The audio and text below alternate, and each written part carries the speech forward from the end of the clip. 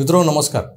महाराष्ट्राच्या राजकारणात प्रदीर्घ अशी खेळी खेळत तब्बल त्रेसष्ट वर्षांचा राजकीय प्रवास करणाऱ्या शरद पवारांनी काल राष्ट्रवादीच्या अध्यक्षपदावरून पाय उतरवायचा निर्णय घेतला.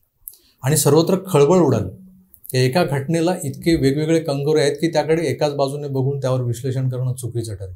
अनेक मुद्दे आहेत आणि ते एकमेकांना कॉन्ट्राडिक्ट करणारे आहेत. विरोधाभासी आहेत. पवारांच्या राजीनाम्यावर अद्याप शिक्कामोर्तब झालेलं नाही आहे दोन तीन दिवसांनी ते आपला निर्णय कळवतो असं म्हणाले. पण मला तरी असंच वाटतंय एकंदर कालच्या पहिल्या अंकानंतर जेव्हा दुसरा अंक सुरू झाला जेव्हा दादा आणि सुप्रियाताई पत्रकारांसोबतच जमलेल्या तमाम कार्यकर्त्यांना पवारसाहेबांचा निरोप द्यायला गेला तेव्हा त्यांची आणि अजितदादांची जी बॉडी लँग्वेज होती जी देहबोली होती ती बरंच काही सांगून जाणारी होती. ती ज्यांनी ज्यांनी पाहिली आहे त्यांनी ती समजून घ्यायला हवी. राजकारणाचा अभ्यास करताना नेत्यांच्या देहबोलीवरती अभ्यास करायला हवा. आपण जेव्हा एका बाजूला अजित पवारांच्या राष्ट्रवादी हायजॅक करण्याच्या प्लॅनबद्दल बोलत असतो तेव्हा एक गोष्ट लक्षात घेत नाही. एकनाथ शिंदेंना शिवसेना उचलून नेता आली एक गठ्ठा. कारण तिथे पक्षप्रमुख उद्धव ठाकरे होते. ज्यांना अगदी विधान परिषदेच्या निवडणुकांचे निकाल लागेपर्यंत भनक देखील लागली नव्हती की आपल्या पक्षात बंडखोरीचं वारं वाहते. शिंदे यशस्वी झाले कारण त्यांच्यासमोर उद्धव ठाकरे होते. राष्ट्रवादीत जरी एक मोठा गट अजितदादांचा समर्थक आहे अगदी आमदार खासदारच नाही तर तळागाळातला कार्यकर्ता हा अजितदादांना राष्ट्रवादीचा पुढचा अध्यक्ष म्हणून ॲक्सेप्ट करायला तयार आहे. मान्य करायला तयार आहे. कारण दादांचं काम बोलतं. त्यांचा जनसंपर्क पवारसाहेबांनी इतकाच दांडका आहे. तेही पश्चिम महाराष्ट्रातल्या तीन चार जिल्ह्यात अनेक कार्यकर्त्यांना नावानिशी ओळखतात. दादा ज्याला शिवी घालून बोलावतात तो त्यांचा जवळचा कार्यकर्ता असतो असं समज त्या त्या भागात पसरलेलं आहे. त्यामुळे दादांच्या शिव्याही ओव्यांसारख्याच लोकांमध्ये पॉप्युलर आहेत. मग इतकी घाई इतका उतावळीपणा का? त्यामागे कारण हे आहे की दादा आज साठीपार आहेत. जवळपास बासष्ट त्रेसष्टच्या घरात आहे. सुप्रियाताई त्रेपन्नच्या आसपास आहे यांना तर राष्ट्रवादीचा ताबा हवा आहे तर तो मिळणार कधी? या दोघांचाही विचार केला तर यांचं फ्युचर काय? आता तुम्ही म्हणाल इतकी वर्ष शरद पवार चालवत होते की पक्ष. आज ते शारीरिकदृष्ट्या खंगलेले वाटत असले तरी मानसिकदृष्ट्या सक्षम आहेत. यापुढेही ते चालवतील जेवढं जमेल तेवढं जमेल तितके दिवस. या जमेल तितक्या दिवसांना मात्र अंत नाही आहे मित्रांनो. याचा अंदाज आता अजितदादांनाही आला आहे आणि सुप्रियाताईंनाही एकतर इतके दिवस काँग्रेससोबत दुय्यम भूमिकेत सत्ता उपभोगली म्हणजे दोन हजार चार दोन हजार नऊ.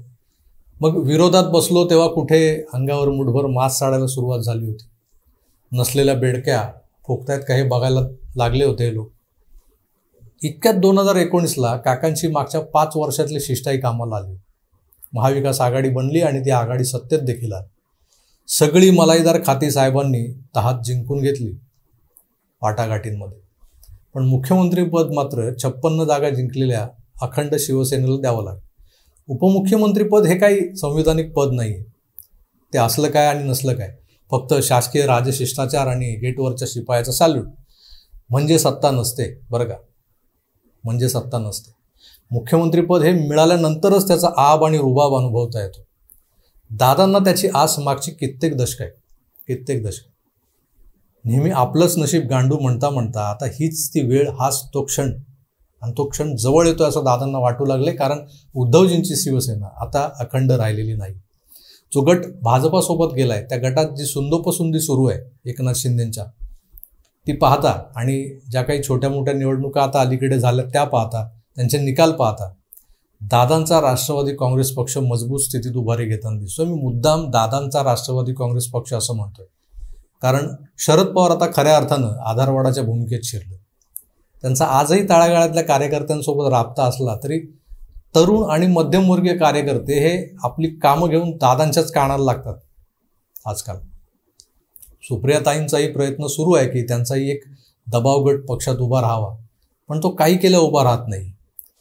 राष्ट्रवादी युवती सेल असो की महिला आघाडी या दोन्हींना एकतर थेट पवारसाहेबांचा आसरा नाहीतर दादांचाच लढा सध्या राष्ट्रवादी काँग्रेस हा भारतीय जनता पक्षापाठोपाठचा एक प्रभावशाली राजकीय पक्ष म्हणून आपलं स्थान मजबूत करू पाहतो एकनाथ शिंदेच्या नेतृत्वातल्या शिवसेनेला या सगळ्या परिस्थितीत आपलं राजकीय भवितव्य काय याचा गांभीर्यानं विचार करावा लागणार आहे.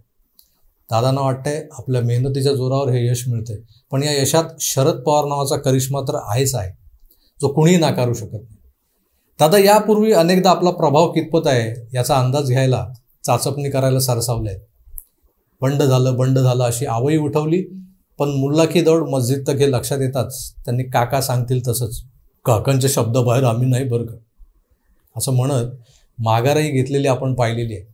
आता राज्यात भाजपला टक्कर देणारा हा पक्ष एकतर प्रमुख विरोधी पक्ष असेल किंवा दोन हजार चोवीसला समीकरणं बदलली तर तो सत्तेतही येऊ शकतो. भारतीय जनता पक्ष हा राज्यात क्रमांक एकचा पक्ष असू शकतो. एक क्रमांक एकच्या जागा मिळवून नंबर वन वगैरे बनेल. पण बहुमताअभावी जर सत्ता मवियाकडे गेली तर त्यांचा मुख्यमंत्री म्हणजे उद्धव ठाकरे असा जो काही भ्रम पसरवला गेला आहे त्यामुळे दादा अस्वस्थ होणं स्वाभाविक होतं.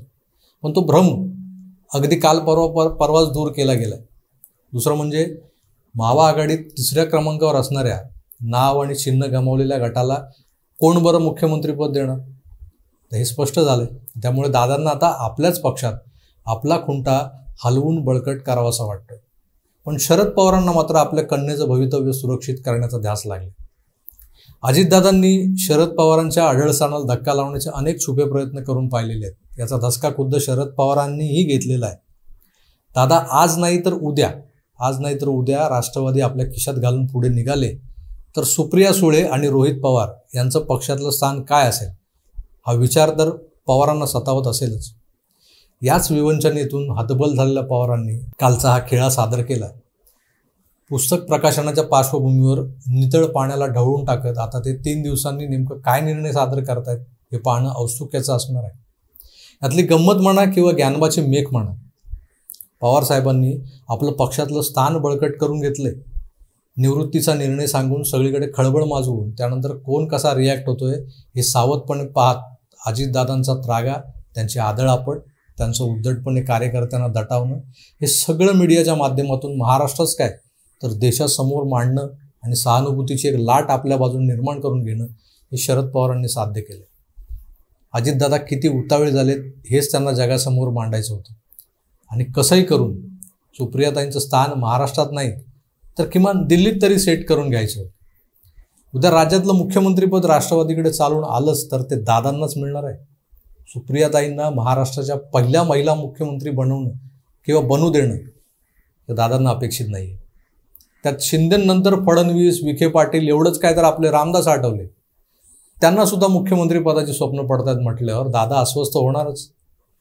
तीच अस्वस्थता काल चव्हाण सेंटरमधल्या त्या मानापमान नाट्यात दिसत होती. दादांनी आपला खुंटा बळकट करून घेण्यासाठी आठवडाभरापूर्वी मुख्यमंत्री पदासाठी भाजपा प्रवेशाची आवई उठवत राष्ट्रवादी काँग्रेसच्या अध्यक्षपदावर दावा सांगितलाय. शरद पवार जर आपल्या निवृत्तीच्या निर्णयावर ठाम राहिले तर हे पद आपल्याला मिळेल असं अजितदादांना आजही वाटत असलं तरी ते त्यांना न देता पक्षातल्या दुसऱ्या कुठल्या तरी ज्येष्ठ नेत्याला दिलं तर किती विरोध होईल? दादांकडून आणि त्यांच्या समर्थकाकडून. हे ताडून पाहण्यासाठी हे जोखण्यासाठी खरं तर काल पवार साहेबांनी मुंबईत हा विशेष खेळ आयोजित केला होता जो हाऊसफुल गर्दीत सक्सेस झाला. सुपर डुपर हिट धक्का तंत्रांचा अवलंब करत राजकीय धक्के देणाऱ्या साहेबांचा पुढचा निर्णय हा नेहमीप्रमाणे सगळ्यांना चक्रावणारच असेल हे मात्र निश्चित. अजितदादांना मात्र काकांनी आता निवृत्त व्हावं असं ठामपणे वाटतंय. सतत अरे बरोबर आहे की तू गप बस की. कार्यकर्त्यांना दटावत होते दादा. पुढे काय? अर्थात त्यासाठी आपण वाट पाहू. बघूया काय होतंय. दादांची अरेरावी दटावणी कामाला येते की पुन्हा आधारवड इथे कुणाला तरी कात्रजचा घाट दाखवत आहे तुर्तास इथेच थांबतो पुन्हा भेटूच. तर आपली काळजी घ्या आणि पाहत राहा आकार डीजी नाही धन्यवाद. नमस्कार.